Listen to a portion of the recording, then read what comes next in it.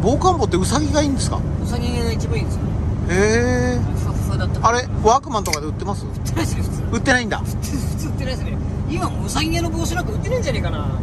どちらで購入するんですか？え？笠田さんどこで購入するんですか？あれ自衛隊原下げだったかな。へえ。違いが分かるんですか？やっぱり。かぶってみると。ウサギは。いや普通ほら大体防寒帽なんか普通のなんだろう、棒ついて終わりじゃないですか。ウサギ違いますよやっぱりへ見てまあ毛皮だと違うんだろうな結局。あったかいですもんね。えそれふ普段冬かぶるんですか？ウサギ毛のはもったいなくて使えないですね。使えないんだ。なるほど。あとねええ。管理悪いともう毛が抜けてきちゃっああそっかそっか。なるほど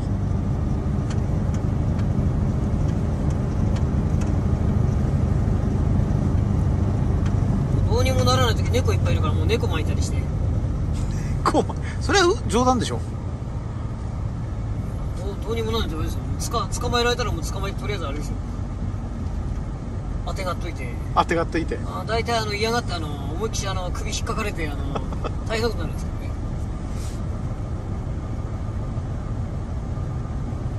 うわ桂田さんちの猫ちゃんはどっからか今朝も雪の中から鳴き声がしてんですよ。ー多分あれですよ。機械シートかけてる機械の中とかですよ。ああそうか。うわ人間がいる。どこに？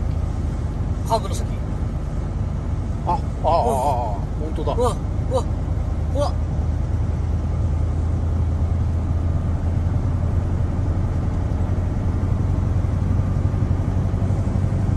ウサギじゃなかったですね。人間でしたね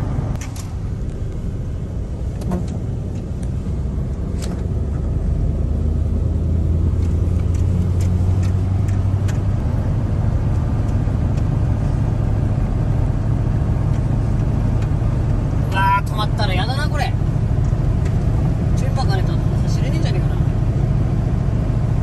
運転変わります今日はなんか冴えてますね。え？なんか今日は冴えてますね。もうね眠くてテンションが変なんですよ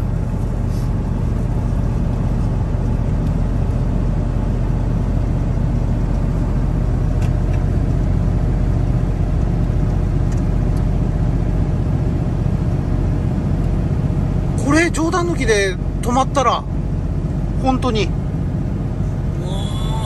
できねえんじゃねえかな。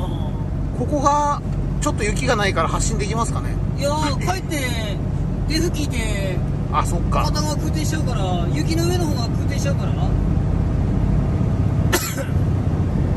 諦めてタイヤチェーンかけることないですね。これくらいだったら効くはずだから。